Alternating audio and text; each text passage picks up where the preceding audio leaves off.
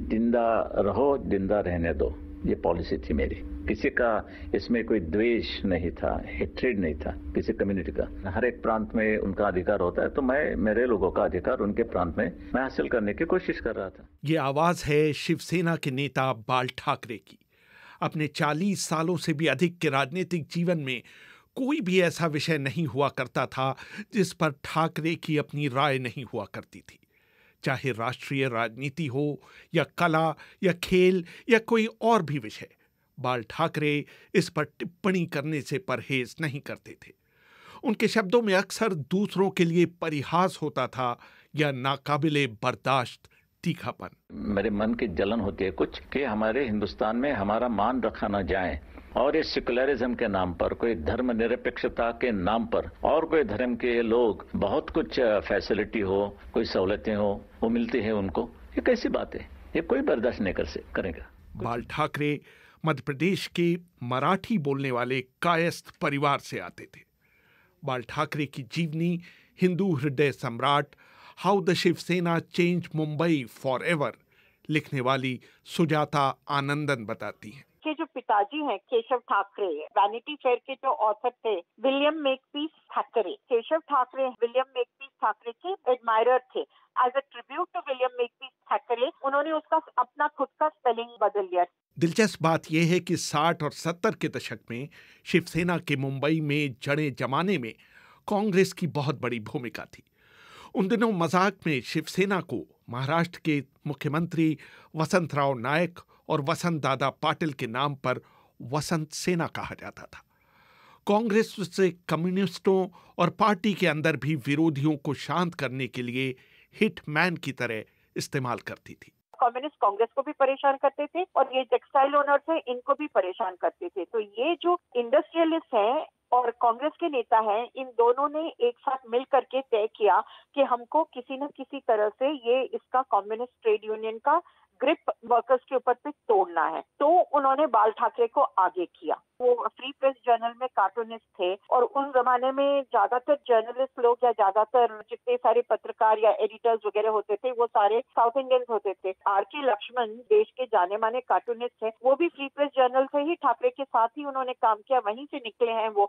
और उनके कार्टून हमेशा काफ़ी अच्छे हुआ करते थे और एडिटर आर के लक्ष्मण के कार्टून चुनते थे। और बाल ठाकरे के दिमाग में ये बात गई कि ये पूरा साउथ इंडियन का डोमिनेशन है। तो वो साउथ इंडियन से चिड़ते थे। बाल ठाकरे के पास फंडिंग कहाँ से आई? अगर कांग्रेस और ये इंडस्ट्रियलिस्ट ने मदद नहीं की उनकी तो अपनी पार्टी सेटअप करने के लिए। उन्होंने ठाकरे को आगे किया, क्योंकि कांग्रेस के जो नेता हैं, वो इस गंदगी में उतरना नहीं चाहते थे। तो उन्होंने बाल ठाकरे को चुन करके आगे किया। आपातकाल में उन्होंने सारे विपक्ष को दरकिनार कर इंदिरा गांधी का समर्थन किया।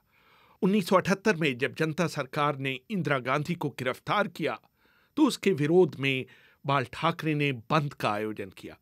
सुजाता आनंदन का कहना है कि 1975 में महाराष्ट्र के तत्कालीन मुख्यमंत्री एस पी चौहान ने बाल ठाकरे को इसके लिए बाध्य किया था। एस बी चौहान अच्छी तरह से जानते थे कि अगर ठाकरे ऑपोजिशन के साथ जुड़ जाते हैं और इनकी रैलीज या वगैरह कुछ होती है तो उन्होंने पुलिस ऑफिसर को बोला और दो चॉइस दिया उनको कि या तो आप जेल जाने के लिए तैयार हो नहीं तो दूरदर्शन के स्टूडियो में आकर के बोलो कि तुम इमरजेंसी को सपोर्ट करते हो और फिर उन, उनको ज़्यादा समय नहीं लगा ये सोचने के लिए और फिर वो तैयार हो गए दूरदर्शन जाकर के इमरजेंसी सपोर्ट करने के लिए। मुझे बाल ठाकरे से मिलने का मौका 2004 में मिला था। जब मैं उनका इंटरव्यू लेने उनके निवास स्थान मातुश्री गया था। दुर्भाग्य से उस इंटरव्यू की रिकॉर्डिंग इस समय मौजूद नहीं है। लेकिन मैंने उस इंटरव्यू को कई सालों बाद बीबीसी के ही एक कार्यक्रम में कुछ इस तरह याद किया था। एक छोटे से कमरे में एक सिंहासन नुमा कुर्सी पर बैठे हुए थे बाल ठाकरे और जो बात मुझे थोड़ी सी अजीब लगी कि वो अकेले नहीं थे। आमतौर से जब हम लोग साक्षात्कार लेने जाते हैं तो वे वो व्यक्ति अकेला इंटरव्यू देता है और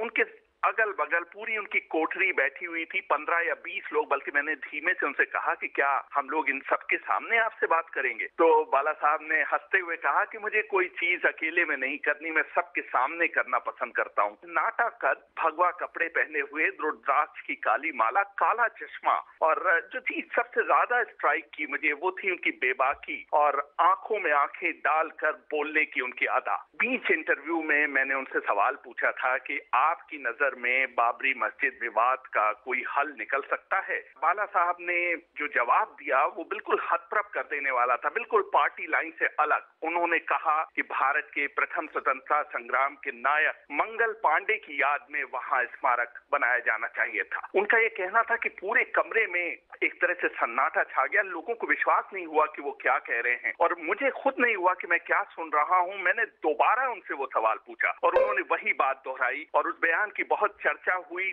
बाल ठाकरे अपनी सार्वजनिक छवि के प्रति बहुत सचेत रहा करते थे।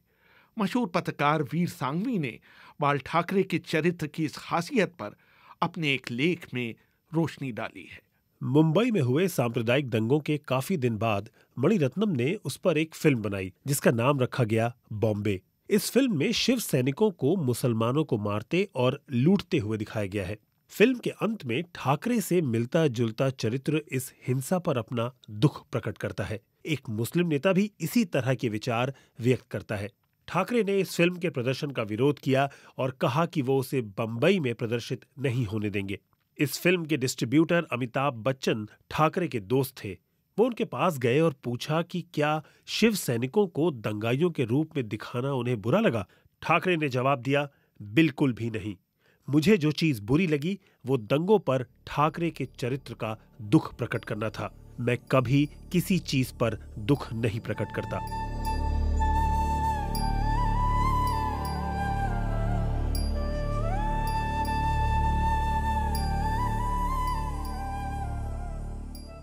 एक तरफ़ ठाकरे भारत के पाकिस्तान से क्रिकेट खेलने के खिलाफ थे, वहीं दूसरी ओर उन्हें पाकिस्तान के खिलाड़ी जावेद मियादाद को अपने यहाँ भोज पर बुलाने में कोई गुरेज नहीं था। क्रिकेट के बहुत ही बड़े फ़ैन थे वो। जावेद मियादादी नहीं, अगर इमरान खान भी राज़ी होते, इनो मातुश्री आने के लिए तो उनको भी खाना खिला सकते थे वो। ठाकरे की कोई पॉलिटिकल आइडियोलॉजी नहीं थी। वो एक म्यूनिसिपल कॉर्पोरेशन लड़े थे। सेवेंटी वन का जो म्यूनिसिपल कॉर्पोरेशन लड़े थे, वो वंदे मातरम के इश्यू पर पे लड़े थे। जैसे उनको पूरी मेजोरिटी नहीं मिली। अभी उनको स्टैंडिंग कमेटी चेयरमैन के लिए उनको दो तीन और तो उन्होंने किससे हाथ जोड़ा? कांग्रेस से नहीं जोड़ा, लेकिन उसमें बनातवाला से, जो इंडियन यूनियन मुस्लिम लीग के प्रेसिडेंट थे। दस दिन पहले तक आप मुस्लिम लीग को या मुसलमानों को गाली दे रहे हो, और दस दिन बाद आपको उनका सपोर्ट चाहिए तो आप जाकर के जाकर के उनसे सपोर्ट लेकर के अपना स्टैंडिंग कमेटी चेयरमैन आप इलेक्ट करवा लेते हो। पाकिस्तान के साथ भी वही था उनका। बाल ठाकरे के चरित्र के विरोधाभासों को उनके एनसीपी नेता शरद पवार के संबंधों से परखा जा सकता है। दिन में वो पवार को आटे की बोरी कहकर उनका मज़ाक उड़ाते थे और उसी शाम को उन्हें उनकी पत्नी प्रतिभा और बेटी सुप्रिया को अपने घर रात्रि भोज पर आमंत्रित करते थे। शरद पवार अपनी आत्मकथा ऑन माई टर्म्स में लिखते हैं। बाला साहब का उसूल था कि अगर आप एक बार उनके दोस्त बन गए तो ताउम्र उनके दोस्त बने रहेंगे। सितंबर 2006 में जब मेरी बेटी सुप्रिया ने राज्यसभा चुनाव लड़ने की घोषणा की तो बाला साहब ने मुझे फ़ोन किया। वो बोले, शरद बाबू, मैं सुन रहा हूँ हमारी सुप्रिया चुनाव लड़ने जा रही हैं, और तुमने मुझे इसके बारे में बताया ही नहीं। मुझे ये खबर दूसरों से क्यों मिल रही है?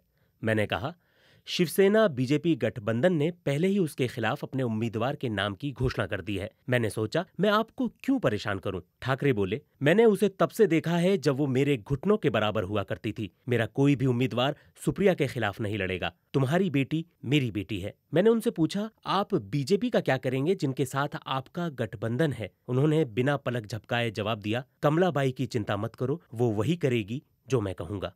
फ़िल्म अभिनेता दिलीप कुमार से बाल ठाकरे की पुरानी दोस्ती थी।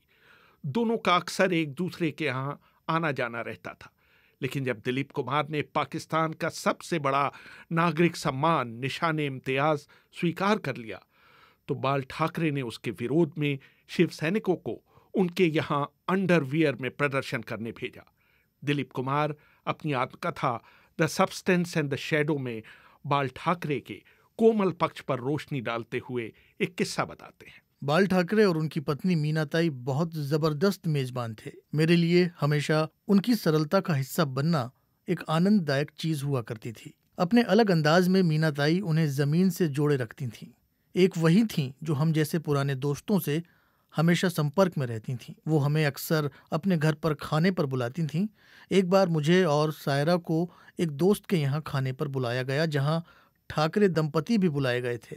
उन दिनों सायरा की पीठ में ज़बरदस्त दर्द था। मीनाताई की आँखों से ये बात छिपी नहीं। उन्होंने बाला साहब को भी ये बात बता दी। बाला साहब ने सारी पार्टी रोक दी और रसोई में चले गए। उन्होंने एक खाली बोतल मंगवाई। उसमें एक बर्तन में पानी गर्म करके भरवाया और सायरा से कहा कि वो उसे दुखती हुई पीठ पर लगाकर बैठ जाएँ। उनकी पत्नी और बहू ने सायरा से कहा कि जब वो घर पर बीमार पड़ती हैं तो वो इसी तरह की चिंता उनके लिए भी दिखाते हैं। बाल ठाकरे सिगार और बियर पीने के शौकीन थे। सार्वजनिक तौर पर शराब पीने से उन्हें कोई परहेज नहीं था। उन्नीस में जब उनकी पार्टी की जीत पर एक पार्टी दी गई तो उन्होंने इस बात पर एतराज़ किया कि वहाँ जीत की खुशी में शैंपेन का प्रबंध क्यों नहीं है। ठाकरे इतना परेशान हो गए थे सिर्फ़ फ्रूट जूस पी करके, क्योंकि उनकी आदत थी कि हर शाम को वो कम से कम दो बॉटल बियर पिया करते थे। उन्होंने फिर डॉक्टर हीरानंदानी को बोला कि doctor Hiranandani you are an E N T specialist E is for the year यानी ई e कान के लिए। और मुझे बहुत ही सुंदर म्यूज़िक सुनाई आ रहा है। एन इज़ फॉर नोस यानी नाक के लिए। और मुझे बहुत ही खुशबू आ रही है, जो जितना भी खाना बन रहा है अंदर किचन में। टी इज़ फॉर थ्रोट यानी कंठ के लिए है। और मेरा कंठ एकदम सूख रहा है। डॉक्टर हीरानंदानी बहुत ही परेशान हो गए। उन्होंने बोला कि नहीं नहीं, यहाँ मंत्री हैं और मुख्यमंत्री हैं। उनके सामने तो ये दारू नहीं हम ला सकते। मनोहर जोशी जो चीफ मिनिस्टर थोड़ी दूरी पर पे खड़े थे, बाल ठाकरे की इतनी ऊँची आवाज़ और फिर उन्होंने उसको और ऊँचा करके उन्होंने फिर मनोहर जोशी की तरफ़ देख करके बोला, कायरे मान्या, तू पीतो सुनाई का? उसका मतलब की क्या मनोहर तुम पीते नहीं हो क्या? मनोहर जोशी कुछ कह नहीं सके। फिर उसके बाद बियर वगैरह सब लाया गया। बाल ठाकरे पर आरोप था कि उनकी पार्टी का कोई भी मुख्यमंत्री क्यों न हो, प्रशासन का रिमोट कंट्रोल हमेशा उनके हाथ में रहता था। एक बार बीबीसी से बात करते हुए उन्होंने कहा था। भाई साहब, रिमोट कंट्रोल क्या होता है? एक नया टर्म हो, जैसे कि वहाँ के वो हाई कमांड होते हैं। इस ढंग से मैं रिमोट कंट्रोल हूँ। रिमोट कंट्रोल का इतनी ही एक बाकी होती है कि टीवी का चैनल बदलना, वहाँ जाके बदलने से आप बैठ के बदल सकते हैं। और ये सच नहीं है कि मैं बार बार मेरे चीफ मिनिस्टर बदलता हूँ, नहीं। जैसे कि मेरे विरोध वाले जो हैं, कोई लोग हो, पार्टियाँ हो, जो जैसे उनकी खेली होती है, वो तो खेल, मुझे भी खेलना होगा। मराठी मानूस के सबसे बड़े पैरोकार, हिंदू हितों के रक्षक, हिंदू हृदय सम्राट बाल ठाकरे ने सिर्फ़ अपने मुंहते पर मुंबई को बदल कर रख दिया। न सिर्फ़ उसका नाम, बल्कि उसका चरित्र और ताना बाना भी। बाल ठाकरे का आकलन करते हुए वरिष्ठ पत्रकार कुमार केटकर कहते हैं।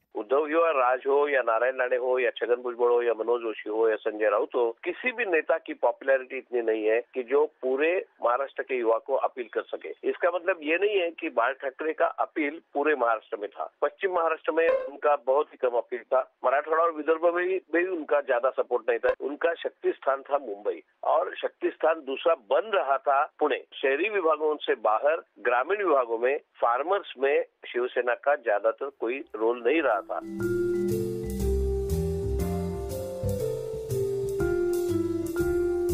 रेहान फजल बीबीसी दिल्ली